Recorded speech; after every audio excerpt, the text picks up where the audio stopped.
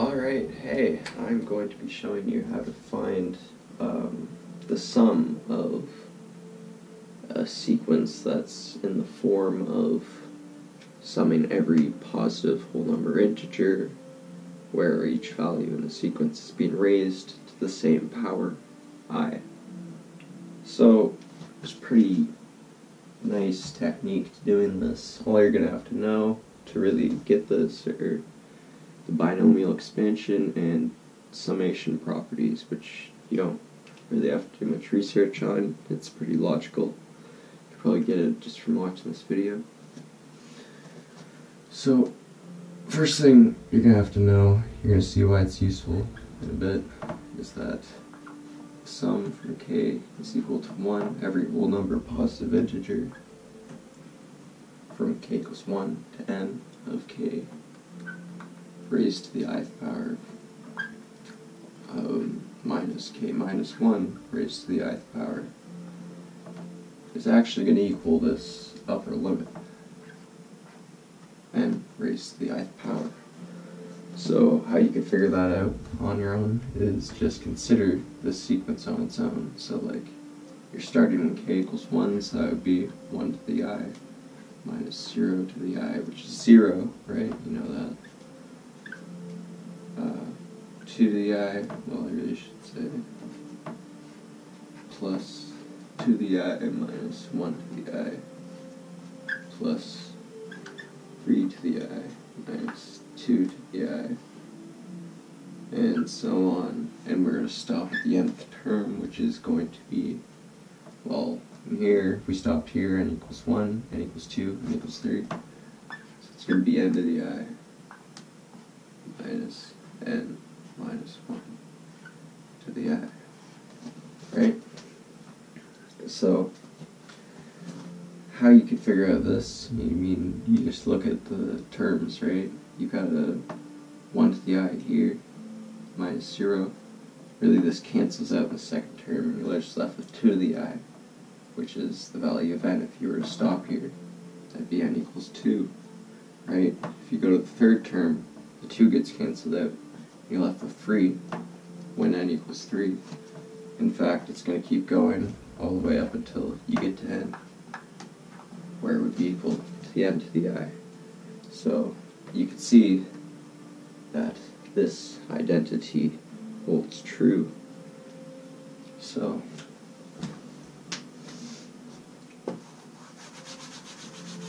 leave that up there. Um,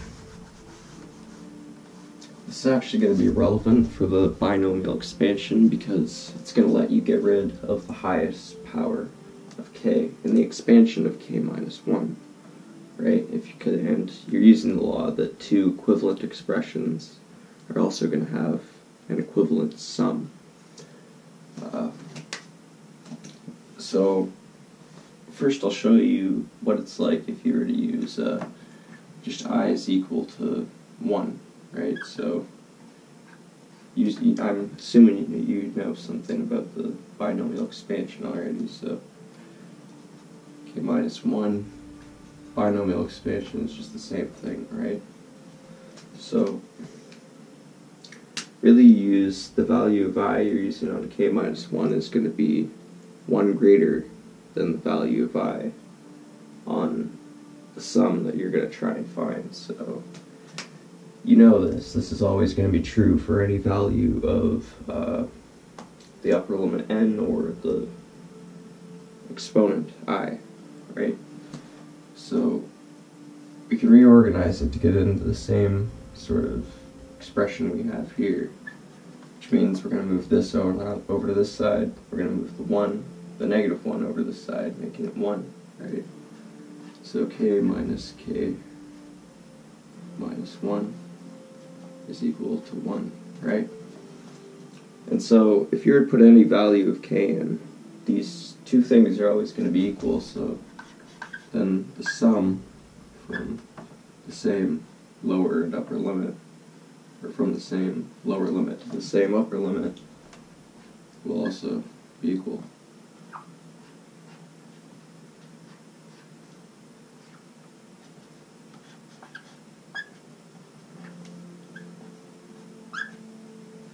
And we know on the left side here that it's going to be equal n of the same power that you have k, so n equal 1, which is equal to the sum of k equals 1 to n of 1.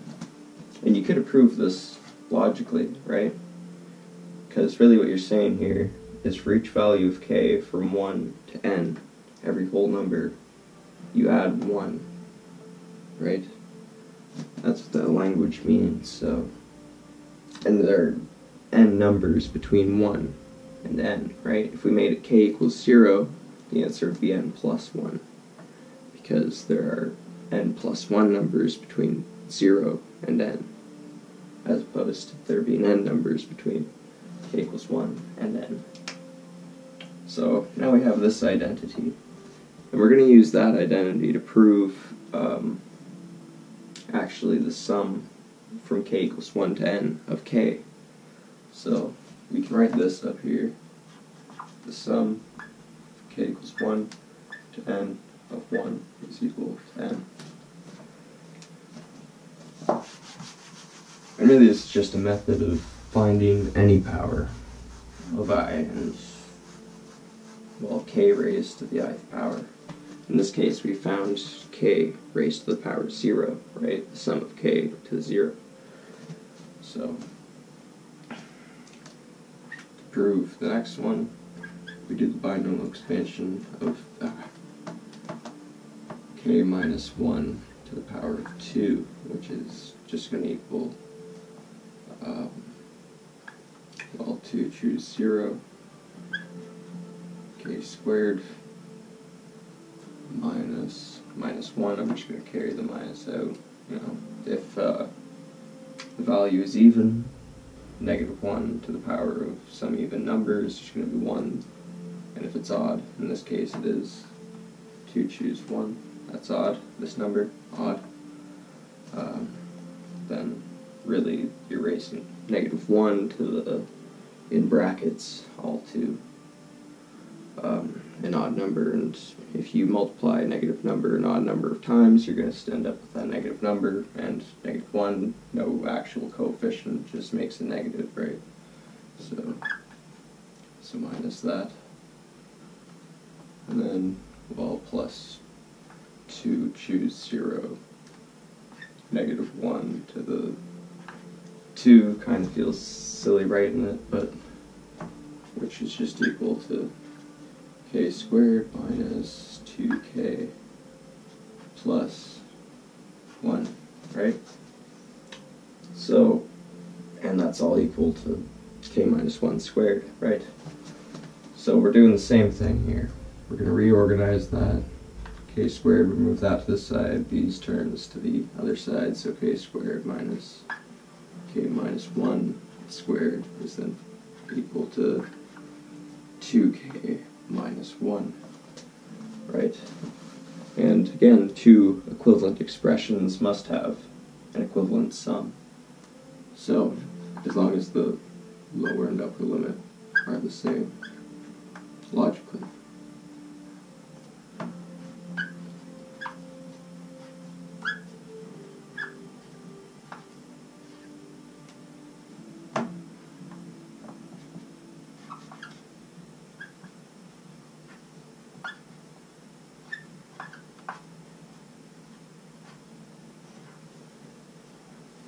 So here's where you need to know more about the properties of summation. I mean, still we're making this side just equal to n to the ith power, which in this case is 2, so that's all going to equal n squared, which is to equal the sum of k equals 1 to n of 2k minus 1. So we can actually split up this um, sum, right? So the sum of 2k minus 1 is the same as the sum of 2k minus the sum of 1, right? you could just try writing out some numbers. I mean, it's pretty logical. So,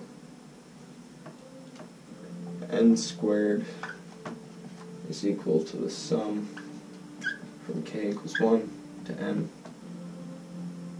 of 2k minus the sum.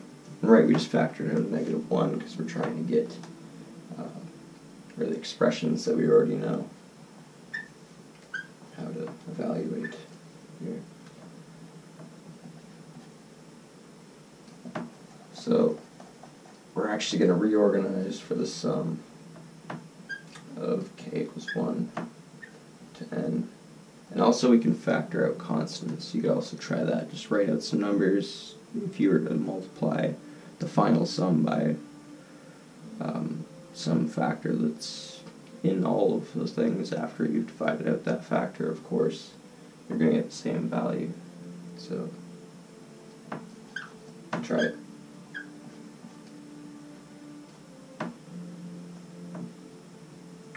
K is equal to n squared.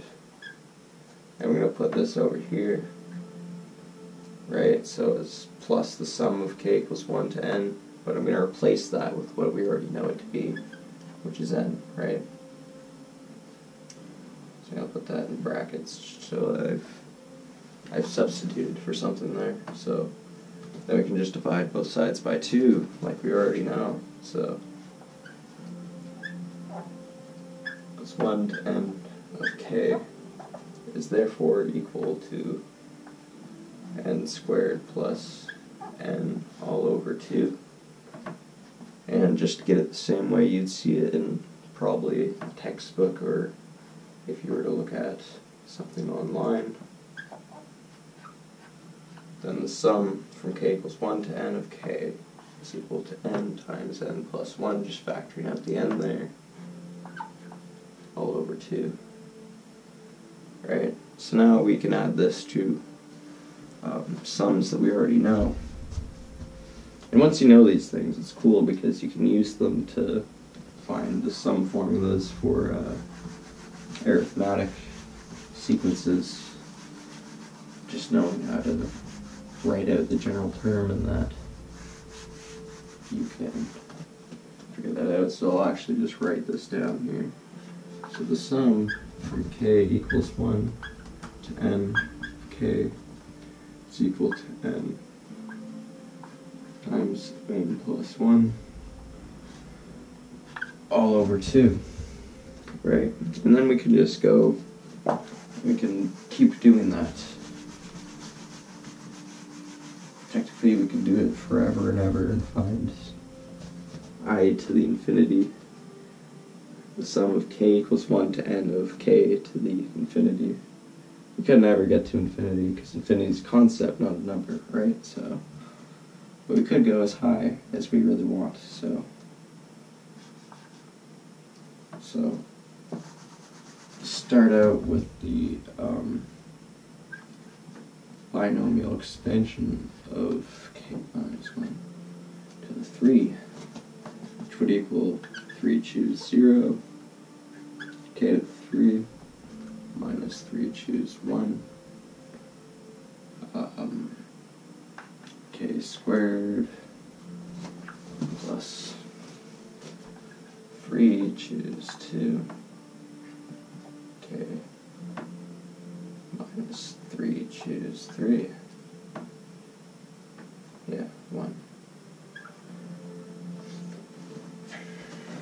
which is also going to be equal to just replacing the choose notations.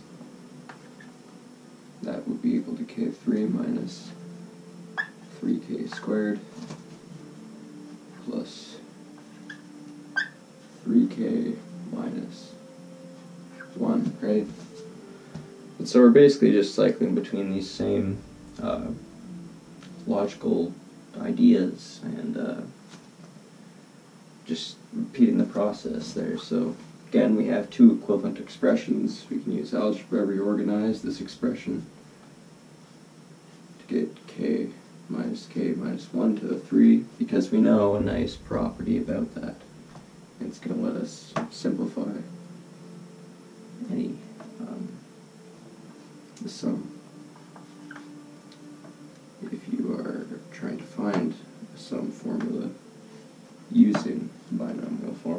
Getting rid of the highest powers, right? So, you know, k to 3 minus k minus 1 to 3.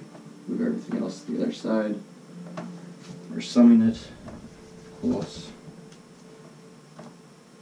So sum from k equals 1 to n of uh, 3k squared minus 3k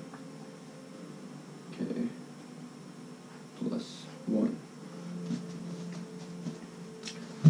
So again, we're putting that in for that, and we can, you know, expand and distribute, just, uh, I'm just to do this a lot quicker.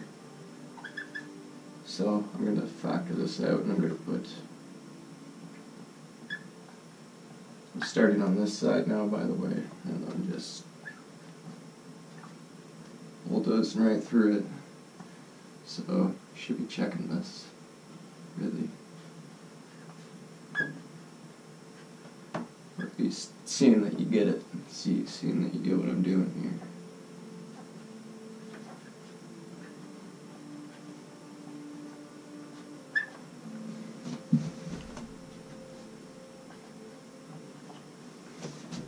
That was just in, for that.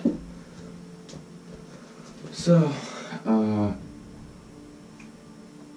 well, that's a lot of rating. Uh, three times the sum of k squared is actually going to be equal to n to the 3 minus n from that. Yeah, I'm gonna put that over there and make that n. I've actually forgot a k there. Hope some of you noticed that. Um, so now minus the n plus 3 times, and we're substituting now for what we know, the sum of, uh, from k equals 1 to n of k is, right? So plus 3 times the sum there. So that'd be n, n plus 1, all over 2. Great. Um,